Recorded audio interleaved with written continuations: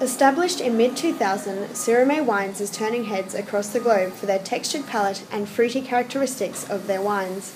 Production is in full swing at the Mount Cotton Vineyard, where this season's harvest is being crushed to create Sirromet's signature Pinot Gris. Chief winemaker Adam Chapman is pleased with this season's batch, which was picked at Ballandean. Uh, we've got our own vineyards down at Ballandean. Uh, we run around about 100 hectares of three different vineyards.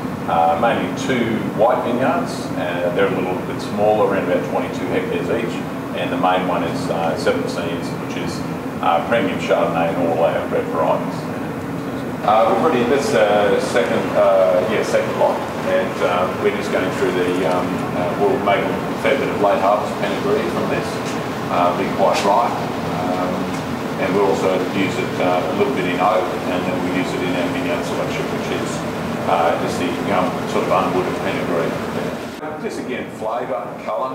Uh, Gris has got this nice sort of honeysuckle, citrus, um, sort of um, I call marmalade orange citrus sort of characters. The flavours, as you can see here today, it's fantastic, you know, rich, uh, varietal, um, and all the analysis is, is looking really good at this stage.